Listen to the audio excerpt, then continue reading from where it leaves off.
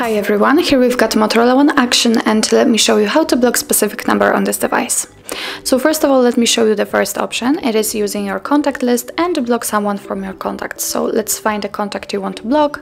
For example, this one, let's tap on it and click on this three dot icon. Let's click on block numbers let's uh, don't report it as a spam and click on block. And as you can see from now on this uh, number is blocked and you won't receive any incoming calls or text messages from that number.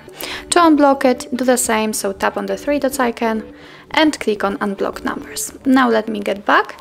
And uh, it doesn't matter if you will be on your favorites recents or contacts. Simply tap on this three dots icon click on the settings and tap on blocked numbers.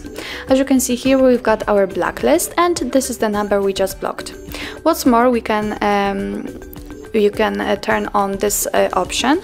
Uh, thanks to this your, your device will block calls from unidentified callers so let's tap on it. This is quite useful. And in order to add a number to the blacklist manually click on add a number. Now we can manually type the number we want to block and click on block. And as you can see it immediately appears on our blacklist and from now on you won't receive any incoming calls or text messages from that number.